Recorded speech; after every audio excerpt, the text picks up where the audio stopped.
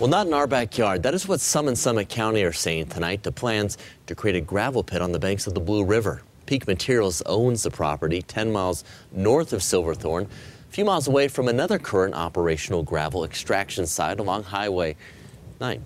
Mountain Newsroom reporter Matt Kroschel is live where community members are talking about this new project right now. Matt? And Dom, this community meeting set up to give Peak Materials a chance to kind of meet their neighbors and uh, present their plans. But a lot of the folks we talked to inside here tonight say they are not having it. This may very well be the most bucolic pristine ranching valley in all of Colorado. 80 acres, it's contiguous with the uh, uh, Blue River, which is right over there where the trees are. John Fielder is best known for his images of Colorado's beauty, captured and displayed through his photography.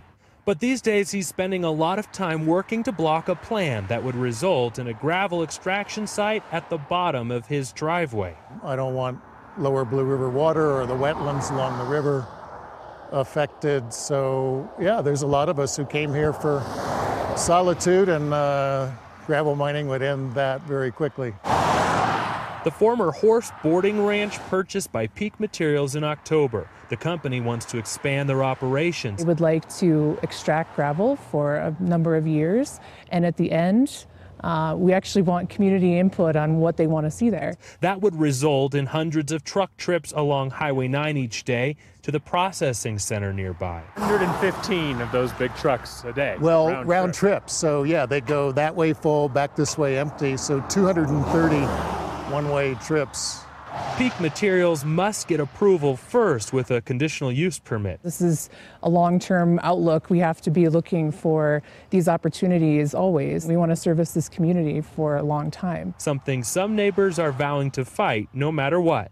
You know, frankly, uh, gravel's got to come from somewhere. This is a fast-growing county, but this is probably the worst possible place a gravel mine could go.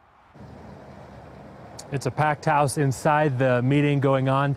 It's expected to wrap up around 7 o'clock tonight, but expect to hear a lot more about this proposal and the fight uh, against it in the coming months. We're live tonight in Silverthorne. Matt Kroschel covering Colorado First. Matt, thank you. And Denver's